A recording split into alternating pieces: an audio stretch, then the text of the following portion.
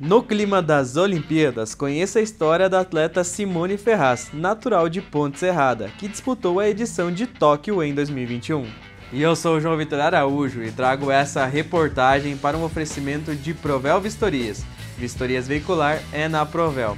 A nossa equipe de reportagem esteve na pista de atletismo da Baia Alta, em Ponte Serrada, onde Simone deu os primeiros passos. Confira. Foi nessa pista simples que iniciou a trajetória no esporte de uma atleta olímpica.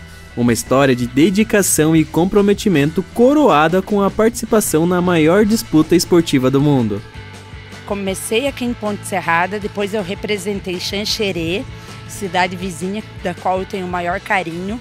Inclusive, um dos meus patrocinadores hoje é a Agriter Bonari, que é, é fundada em Xanxerê. E aí eu, na sequência, fui para Jaraguá do Sul, ainda adolescente, com 16 anos, em busca de uma vida melhor através do esporte. E foi lá que eu me desenvolvi, que eu cresci, que eu conquistei a primeira medalha em Campeonato Brasileiro.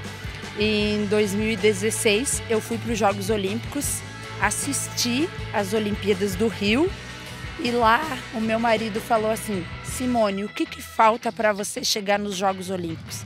E aí eu falei para ele que eu precisava de uma equipe multidisciplinar, porque sozinho ninguém chega a lugar nenhum. E aí a gente, junto eu e o meu marido, a gente montou um projeto que se chamou Projeto Tóquio.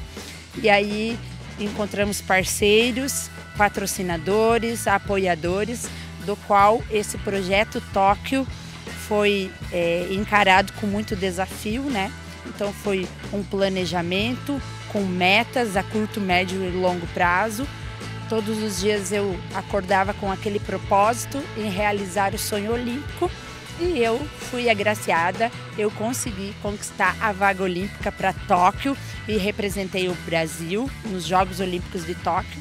Eu realizei esse feito histórico e eu sou a primeira atleta da história do município de Ponte Serrada a representar o Brasil nos Jogos Olímpicos. Apesar de sua participação nas Olimpíadas de Tóquio, Simone não conseguiu se classificar para os Jogos de Paris deste ano. Porém, a sua determinação e o otimismo continuam para que seu sonho de retornar às Olimpíadas permaneça. É, depois de Tóquio, a minha carreira só cresceu. Eu cheguei no alto rendimento, é, com mais experiência, eu melhorei as minhas marcas, eu tive oportunidades incríveis, eu tive apoio, patrocínio, é, tudo foi feito da melhor forma possível para chegar em Paris. É, competi nos Estados Unidos, na Europa, é, participei de todas as seleções brasileiras, fui para o Sul-Americano, sou medalhista, vice-campeã sul-americana, vice-campeã ibero-americana.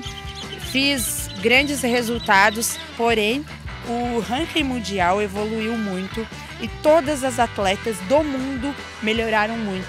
Então eu fiquei de fora de Paris por pouco, mas eu sei que eu dei o meu melhor, que eu fiz o possível e o impossível para estar lá.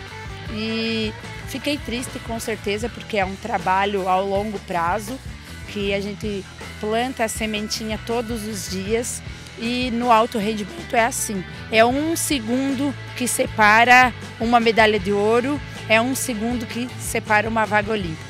E agora, de volta às suas origens, Simone inspira novos atletas a seguir os seus sonhos e a buscarem cada dia mais determinação para alcançar seus objetivos. O sonho está aí para ser sonhado, mas você deve manter o foco, a persistência, a disciplina, a determinação e acreditar Vai surgir dificuldades, sim, mas o acreditar no sonho faz a gente chegar cada vez mais longe.